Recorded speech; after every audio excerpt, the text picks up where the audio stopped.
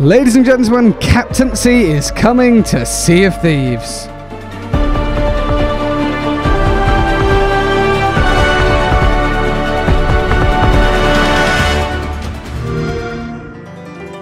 We brought updates that were free to those who sailed the sea, though there's always more potential within. And as this song will spell out, there's plenty to sing about. Now that you can finally be a captain, can you imagine owning your own ship? Decorated with what you acquire. Then to satisfy your vanity, as long as there's no profanity, you can name it just how you desire. Oh, to set sail as a pirate captain. There's boatloads of new features we proclaim. Oh, to set sail as a pirate captain. That's why we really think that you should play this game. And it's available with Xbox Game Pass, of course. Oh, to set sail as a pirate captain. Adventure will come knocking on your door. Oh, to set sail as a pirate captain. And you'll be amazed at what we have. The choice is yours, whatever captain you may be. Whether that's gold looting, no scope shooting, robo racing, or embracing, everybody's welcome in this game. So come set sail as a pirate captain. Our time is almost up, so as we leave, if you want to be a pirate captain, come do it in season seven to Sea of Thieves.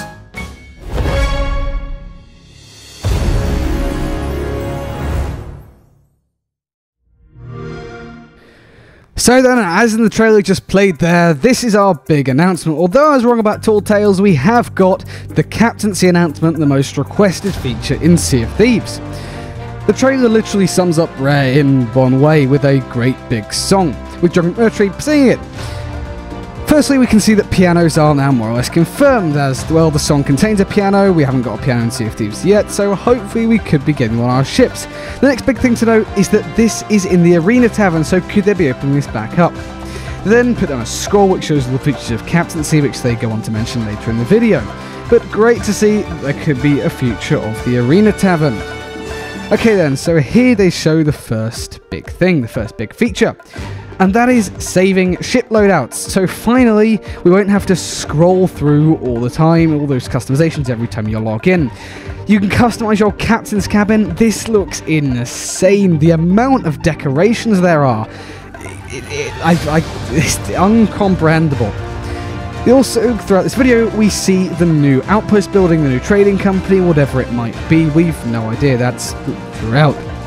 Next thing we see is name your own ships. This was obviously leaked as in previous videos that I've mentioned, but we can name our ship anything we want. Ah, it's gonna be so many the Black Pearls or the Queen Anne's Revenge out there. It's gonna be really fun. There's a few filter camps on them and all sorts. Okay then, so moving on to the next thing they announced in the trailer is new progression. Another the pirate singing it holds up a crystal ball which is taken directly from the Order of Souls emissary table. So perhaps going to be seeing new voyages, new emissary expansion for captains. Love to see new perks like that. Next, in the trailer, they mentioned that it's going to be on Xbox Game Pass, which they didn't really need to do, in my opinion. It, that's obvious, it is on Xbox Game Pass. But then again, talking about progression, they talk more about choose your path. So this could be leaning into more role-playing elements that they could be adding in future seasons as experimented within Lost Sands, so we'll have to see on that. They say earn unique rewards, we don't really know what this is going to be yet, but the interior of the Captain's Cabin, all of that can't be what you buy. Some of that must be that you earn somehow through unique progression. We then see the new outpost building again, and it says new cash-in points. And it's almost like a tent. Sell loot with ease. There's so many mechanics. It looks to be harpoons on them.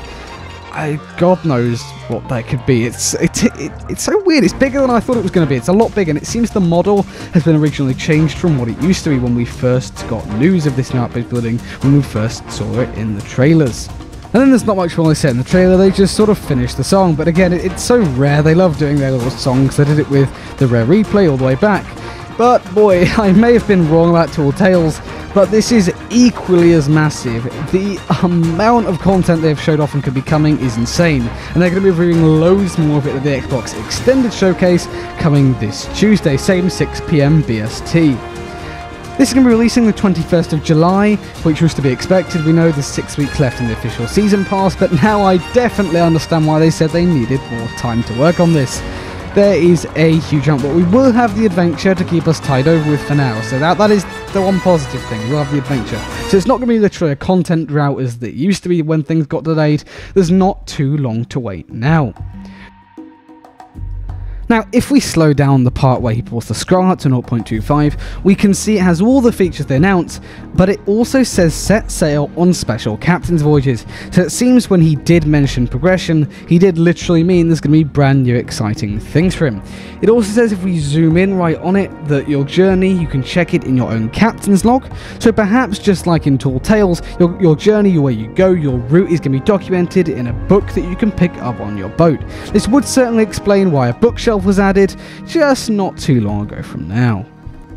So anyway, Captaincy as a whole, it's going to be an amazing addition, obviously. As I say, it is the most requested feature since the launch of the game, even more requested than Pirate Legend Voyages. And that new outpost building, technically, this is the first time we're getting an out new outpost building because the Castaways area, that was for a Pirate's Life. That's not really a new outpost building. It was a building an outpost, but it wasn't. It was for Tall Tales. It didn't have any real functionality. But this, the new Sovereign Trading Company, as we can see when he puts the scroll down, that's what they're called. It's brand new functionality. I'm so excited. I'm so incredibly excited.